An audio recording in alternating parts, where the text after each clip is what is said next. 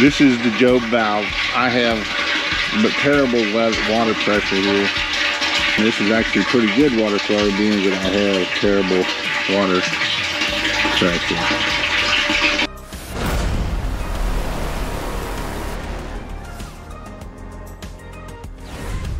The next thing we're gonna do is, is the Jobe valve. What is the Jobe valve? The J-O-B-E valve. This is the Jobe valve right here.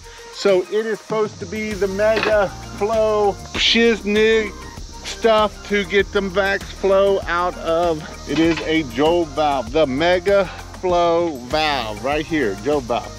Um, 50 gallons per minute at 30 psi. Now that is one thing with the part of the Hudson float valve. It can slow down flow and that can give us issue. Um, some things that we have to do with this valve is, is we have to plumb it into the side of the tank or we're gonna have to take it up over top, back down and do a 90 in it and do it. Because I'll show you here why we have to do that for. Um, DJ's actually putting a piece of metal on, I want, didn't want to hit on him. This here actually has to sit here and this is what turns this off. This floats up, pulls on this little string here and shuts the water off. This is actually gonna go into the tank here. Now, I'm not too worried about it because these bulkhead fittings are designed not to leak, right? Look at all the other bulkhead fittings we have. We have bulkhead fittings everywhere. A bulkhead fitting down there. They're designed not to leak, so I'm not too worried about it leaking. So, we'll get it here. Some things that we will need is a, um, we need a hole saw, which is, or a hole drill, and we want it just to go over top of it so you can see it fits right over top of it so that way we're not too loose we're not too tight and that will help us out to make us do our what we need right to do in that area mm -hmm. yep. Let me go.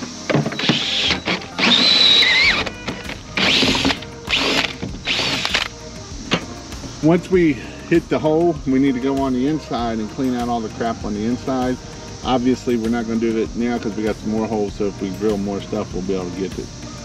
So next thing we'll do is is open the actually we probably ought to go ahead and tighten the Jobe valve on the there.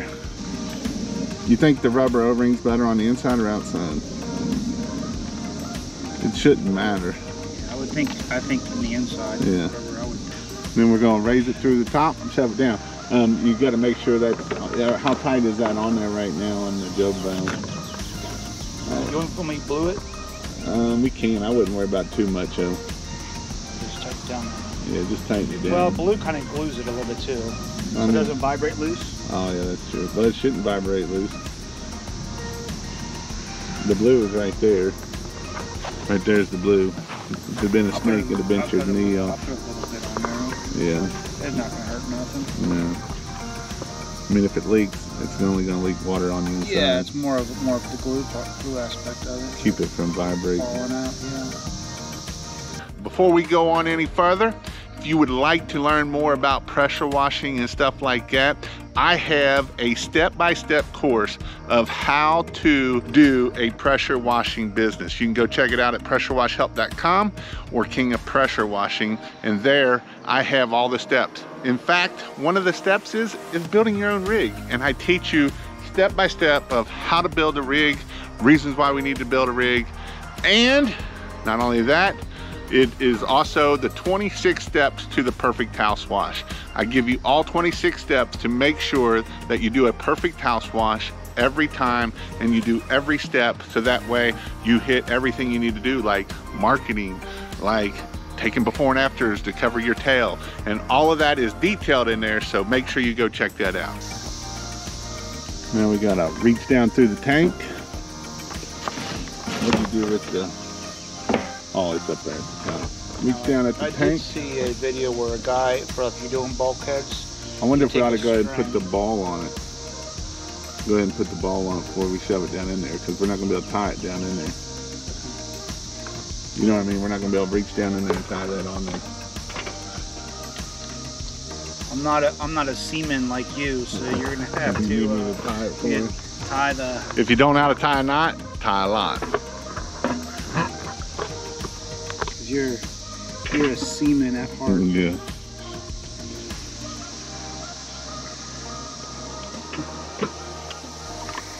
So we don't, we can be kind of tight, can't we? Yeah, I would do this as possibly can. Man, we don't, uh, yeah, as long as it goes a little bit. it won't fit in the hole. Can you shove it down the other way and lube it up? You've already drilled a hole in that. It's got to go. so, tip of the day, you may need to check to make sure the hole's big enough that it'll go down in there. See if we go the other way and put the valve down in it.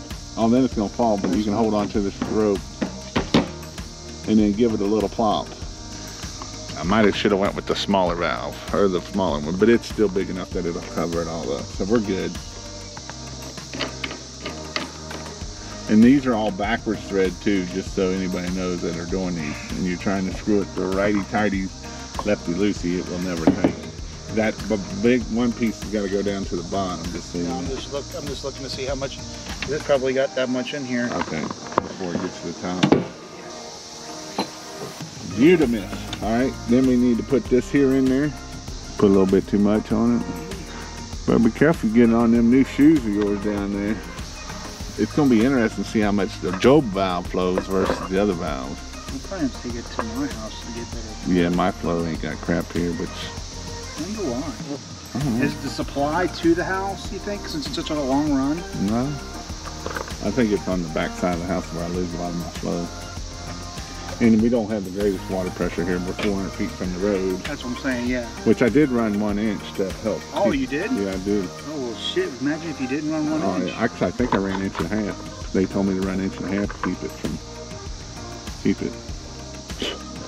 Daggone flies going in, land to be dead before long. I can only get so tight with my hand. That should be good. All right. And we're gonna, up there with the valve. Long enough, but not too long.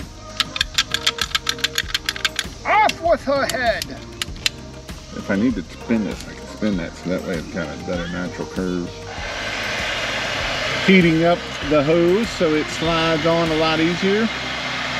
And then once we get that done and tightened up, that is all you have to do to install a Jobe valve. Figure out a way to do a test on the Jobe valve though, and I'm just now getting to it. So, and that's all. So that will be the end of how to install the Jobe valve. Obviously, we got to tighten it up, but that gives us our garden hose in through our reel, out through the reel, into our Jobe valve.